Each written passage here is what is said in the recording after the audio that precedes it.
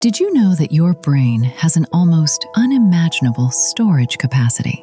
It's capable of storing a staggering amount of information, more than any machine we've ever built. And that incredible storage power comes from the synapses between neurons. These synapses are what transmit messages from one neuron to another, and they're where information is stored and strengthened over time. On average, your brain contains about 86 billion neurons, forming over 100 trillion connections. That means each neuron can make around 1,000 connections, or 1,000 potential synapses. Altogether, there are roughly 125 trillion synapses in the human brain. And here's the wild part. Each synapse can store up to 4.7 bits of information. That tiny exchange point holds real data. Because of this, scientists hope to build future computers that work more like the brain, energy-efficient systems powered by deep learning and artificial neural networks, able to process and store information the way biology does. But information storage isn't limited to your brain.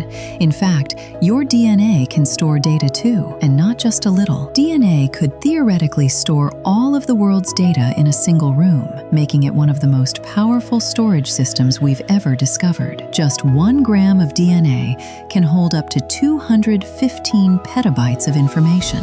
That's about 215 million gigabytes in something you can't even see. Because of this, scientists are now able to convert digital content into DNA. In one recent study, researchers encoded a 52,000 word book into thousands of tiny DNA snippets. They started by converting the book into binary, strings of zeros and ones. Then they translated that data into DNA's four letter alphabet A, G, T, and C. So whether it's your brain or your DNA, the future of data storage might already be inside you.